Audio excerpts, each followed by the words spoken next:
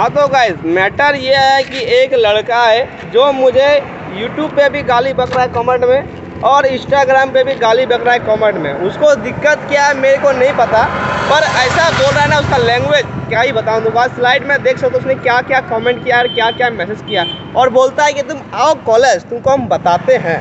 तो यार, तुम चैलेंज कर रहा है और हम नहीं आएँगे, ऐसा हो नहीं सकता। हम जा रहे हैं कॉलेज और देखिए रहते हैं क्या करता है, तुम क्या नहीं करता। और दिक्कत क्या है भाई, पूछिए लेंगे उससे। तो चलिए फिर मिलते हैं।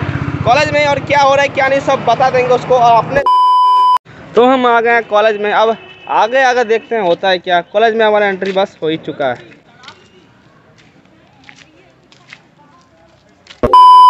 हाँ तो फाइनली गाइस हम लोग जो है कॉलेज से निकल गए। एग्ज़ाम दे एग्ज़ाम में हमने फाड़ दिया पूरा पूरा आंसर सीट फाड़ दिया। मतलब फाड़ा नहीं, टीक मार मार के हमने फाड़ दिया और मज़ा इतना आया कि का ही बताया यार ये कितनी है बहुत ही ज़्यादा मज़ा आया हम लोग को। दोस्ती किधर ने बेटा हमारा? हाँ तो यही था वो वीडियो क्लिप जिसकी वजह से लफड़ा हुआ। हाँ तो गए जैसे कि आप लोगों ने देखा कि मैंने बताया था कि एक लड़का था जो मुझे आ, मैसेज कर रहा था इंस्टा पे गाली दे रहा था और यूट्यूब पे भी कुछ कमेंट कर रहा था। तो उसने मुझे कॉलेज बुलाया और आ, मुझे लगा कि वो कॉलेज बुलाएगा और कुछ बातचीत करेगा या वीडियो का दिक्कत या कुछ भी दिक्कत हो। वो चीज़ बात करेगा वीडियो रिमूव करना रहेगा तो वो चीज़ बताएगा। तो हम वहाँ कॉलेज गए फिर उसने क्या किया कि डायरेक्ट प्रिंसिपल के पास कंप्लेन कर दिया, उनको, उसको मेरा वीडियो दिखा दिया। तो प्रिंसिपल ने मुझे धमकाया और हमसे माफ़ीनामा भी लिया, जैसे कि आगे से ऐसा वीडियो नहीं आएगा और आगे से मतलब ऐसा गलती नहीं होगा कॉलेज कैंपस के अंदर। बोला कॉलेज कैंपस के बाहर आप बना सकते हो, लेकिन आपको कॉलेज कैंपस के अंदर नहीं बनाना है। प्लस दिक्कत यही कि ये लड़का अगर तुमको दिक्कत है, वो तुम्हारा बहन है, चाहे गर्लफ्रेंड है, चाहे जो भी है, तुम हमको इंस्टाग्राम पे डायरेक्ट मैसेज किया और गाली दिया।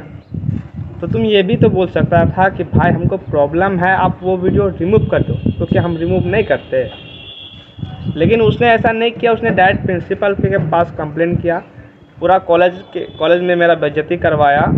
और क्या ही बताएँ फील तो कुछ उस टाइम गलती लग रहा था और उठक बैठक भी मैंने किया, लगभग दस बार किया।